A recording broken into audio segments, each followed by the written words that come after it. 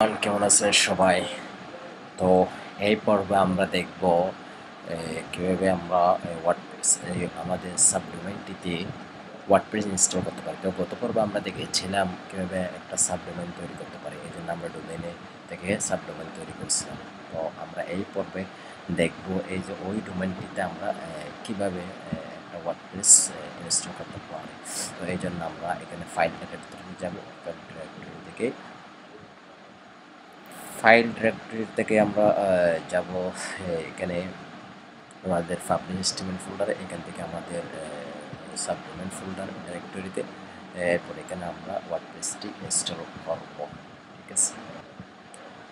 তো আমরা এখন একটি ফাইল কীভাবে আপলোড করতে পারি সি প্যানেলে আপনার কন্টেম্পোরারি সেটা দেখাবো, এখান থেকে আমরা আপলোড আপলোড থেকে আমাদের ফাইলটি এখানে আমরা ট্রান্সফার করব ওকে আমরা এখান থেকে রাইট লেফট বাটন ধরে এখান থেকে এটা ড্রাপ করে আসব। ওকে আমাদের প্যানেলে আপলোড হচ্ছে। ওকে আমরা দেখতে দেখতে পাচ্ছি আমাদের ফাইলটি আপলোড হয়ে গেছে। তো এখান থেকে আমরা এখন আমাদের প্যানেলে চলে যাব। তো আমরা এখান থেকে দেখতে পাচ্ছি আমাদের একটি জিপ ফরম্যাট আছে এটাকে আমাদেরকে স্ট্রাক করতে হবে। এই জন্য আমরা স্ট্রাক্ট ক্লিক করব। স্ট্রাক করব ওকে স্ট্রাক করার পর আমরা এটাকে ডিলিট করব। আবার আমাদের এই জিপ ফরম্যাটটি ডিলিট করতে হবে। তো আমরা যদি একটিকে রিফ্রেশ করি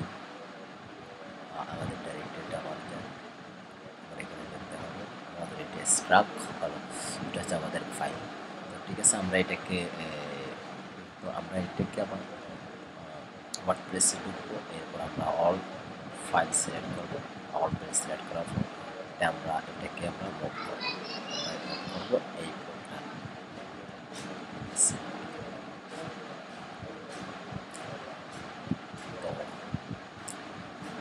এটাকে আমরা মুভ করলাম। এখানে আমাদের ডাইরেক্টরিতে যাবে। আমাদের ডাইরেক্টরিতে যে ওয়ার্ড প্রেস যে পেজ ছিল এবং এটা এটাকে আমরা ডিলিট করব এটাকে আমরা সরি ডিলিট করব ওয়ার্ডপ্রেস ফোল্ডারটা এটাকে আমরা ডিলিট করব। ডিলিট করার জন্য এখান থেকে আপনি ডিলিট করবেন ডিলিট এখন আবার আমাদের যে জিপটি ছিল, ওটা আমরা ডিলিট করব। ওকে তাহলে আমরা সহজেই এটা তো এখন আমাদেরকে আমাদের ওয়ার্ডপ্রেস ফাইলগুলো আপলোড করলাম, এখন আমাদের কী কাজ? এখন আমাদেরকে যা করতে হবে, সেটি হচ্ছে আমাদেরকে এখন মাইস ডাটাবেস তৈরি করতে হবে। ডাটাবেসের জন্য এই যে আমরা ডাটাবেস যাব মাইস্কল ডাটাবেস এখান থেকে আমরা ডাটাবেস আমাদের এখানে ডাইরেক্টরিটি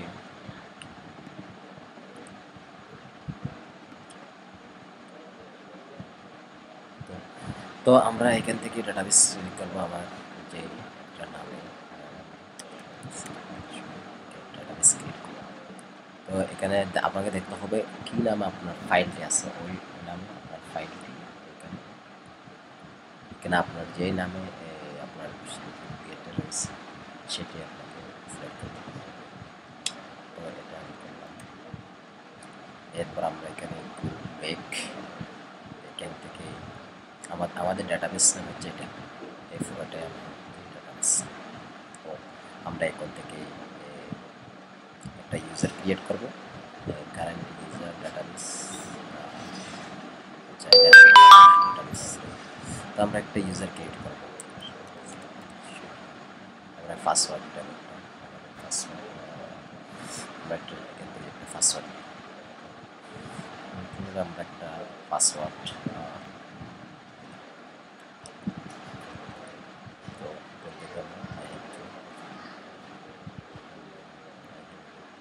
আচ্ছা এটা আমরা ইউজ করব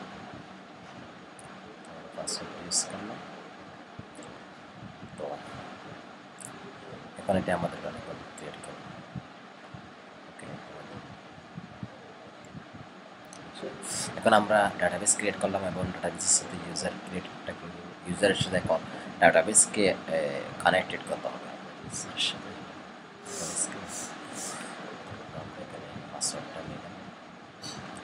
তো এরপর আমরা এখানে এখান থেকে আমরা আমাদের ডাটাবেসটা কি আমাদের সরি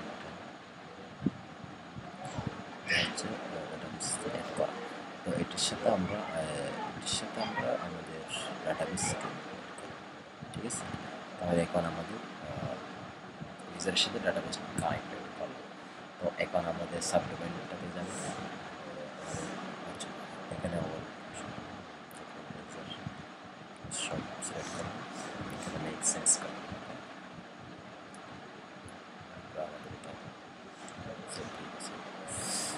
তো আমরা এখন কি করব? আমাদের সাবডোমেনটাতে যাব। ডাব্লিউ ফ্যাট মিন ডাব্লিউ ফ্রি অ্যাড যাব। এরপর আমরা আচ্ছা এখান থেকে আমাদের যেই নামে ওই আমাদের ডাটাবেসটি যে নামে আসছে, সেটা। তো এখান থেকে আপনি সিলেক্ট করবেন সিলেক্ট করলাম। তো এরপর এখানে লেটস গো ডাটাবেস এখানে এগুলো আপনাকে দিবি। ওকে তাহলে আমরা এখান থেকে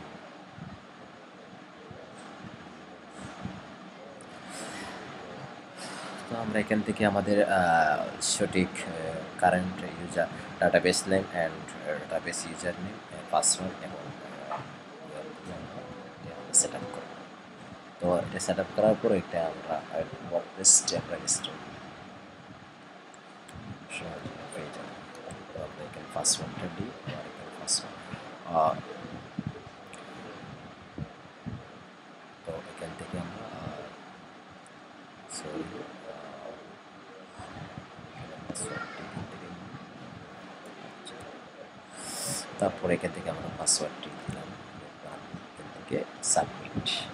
সাবমিট দেওয়ার পর আমরা দেখতে পাবো।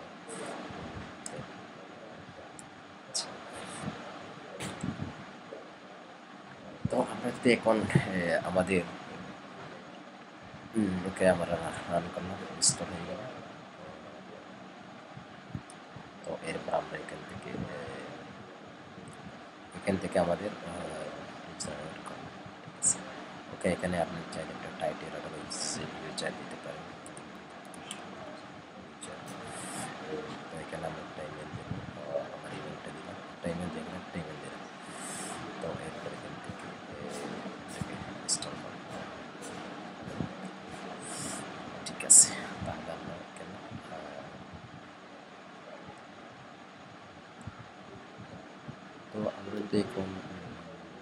এটা সেট জেনারেশন এখানে পাসওয়ার্ড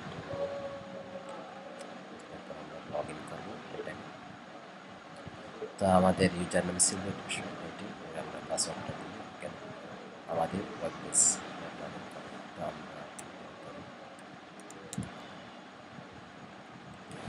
তো এরপর যে আমরা এখানে আমাদের সাইটে লগ ইন করলাম আমাদের এখানে for check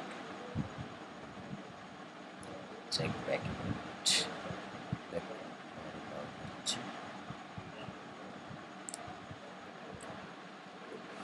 okay আমরা লগ ইন করলাম লগ ইন করার পর দেখতে পাচ্ছি আমাদের ড্যাশবোর্ড বোর্ডটি তো আমরা যদি এখানে আমাদের ভিজিট করি।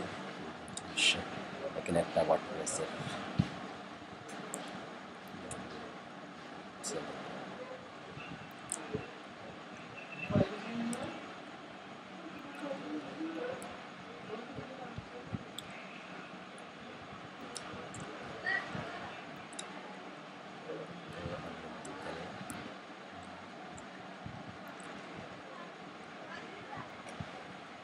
যেটা আমাদের ডিফল্ট যে ওয়ার্ডপ্রেসটা ইনস্টল হয়ে তো এখান থেকে আপনি পোস্ট করতে পারেন। তো এভাবে আপনারা ওয়ার্ডপ্রেসটা ইনস্টল এখান থেকে পোস্ট করার তো আগামী পর আবার আমরা দেখব কীভাবে একটা থিম নতুন একটা ফিচার বিভিন্ন থিম ইনস্টল করা যায়। এটি দেখব ঠিক আছে? আল্লাহ হাফিজ, সবাইকে ধন্যবাদ।